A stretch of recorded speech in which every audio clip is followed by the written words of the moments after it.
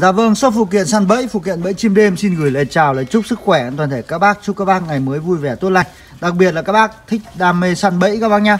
Thì ở cái nội dung video giới thiệu sản phẩm hôm nay thì em gửi tới các bác cái mẫu cạm 9 cm.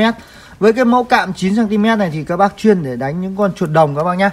Bác nào mà đam mê đánh chuột đồng à, về thịt hoặc là đánh chuột đồng làm kinh tế mà xem được cái video này mà cần cho mình cái mẫu cạm 9 cm này thì hãy để lại số điện thoại hoặc comment bên dưới video. Bên shop sẽ có nhân viên tư vấn trực tiếp và cái hình thức giao hàng thì bên shop là ship hàng CD toàn quốc. Các bác nhận hàng kiểm tra hàng ok phải thanh toán các bác nhá. Với cái mẫu cạm kiềng 9 cm này thì giá thành của nó rất là rẻ thôi.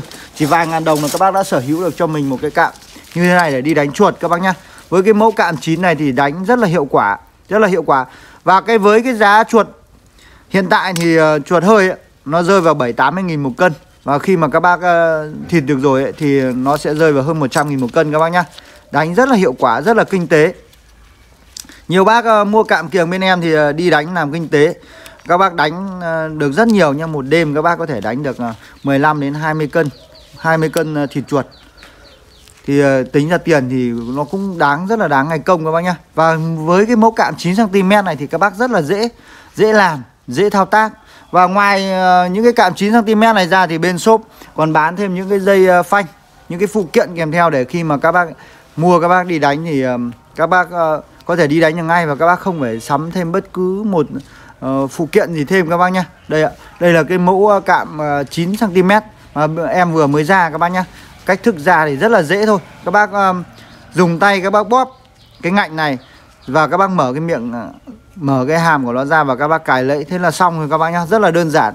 Và cái cách thức ờ, bẫy thì bác nào mà xem video mà mới học chơi hoặc là hoặc là có ý định chơi mà chưa biết ờ, cách sử dụng thì các bác cứ gọi điện ờ, trực tiếp hoặc là cái bạn với cái số Zalo em để dưới góc màn hình bên shop sẽ tư vấn cho các bác đặt làm sao là hiệu quả nhất các bác nhá.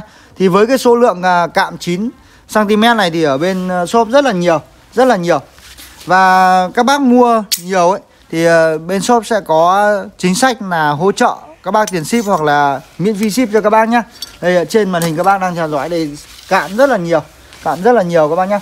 Và thì, ờ, sau đây em sẽ mở mở trực tiếp ra một cái bao cạn chín tiếp theo ở dưới này các bác nhá. Bao là bao mới nguyên mới nhập từ công ty về.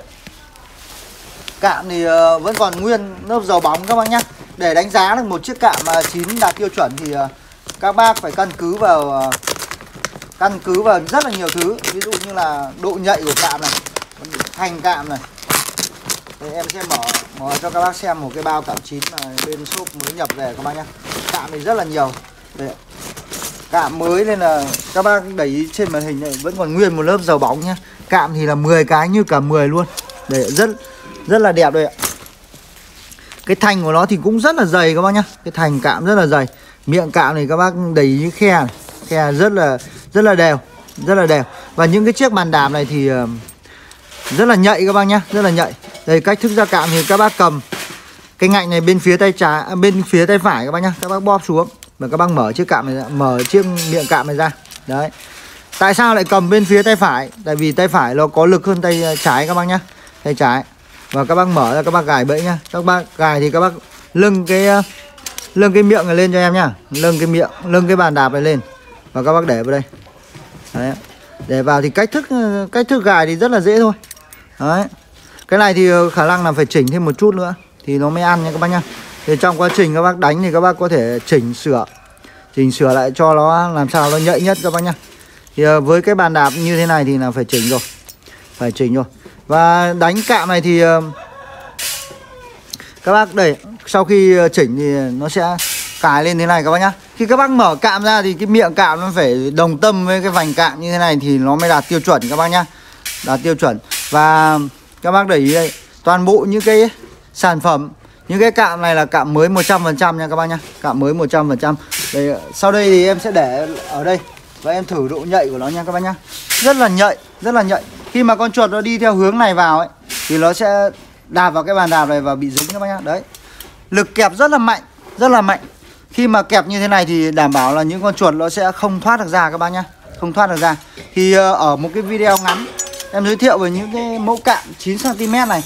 Thì ngoài mấy mẫu cạm 9 cm này ra thì bên shop còn rất là nhiều loại cạm như là 12, 14, 16, 18, 22 25 và 33 các bác nhá. Bác nào mà cần những cái cạm to Cạm kiểng mẫu to thì cứ um, để lại số điện thoại hoặc comment bên dưới video. Bên shop sẽ có nhân viên tư vấn trực tiếp.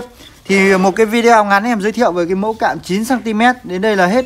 Bác nào mà xem được video mà thấy hay thì hãy đăng ký kênh, Hãy chia sẻ video để đón nhận những cái video em giới thiệu sản phẩm tiếp theo. Giờ thì xin chào, hẹn gặp lại các bác ở những video tiếp theo.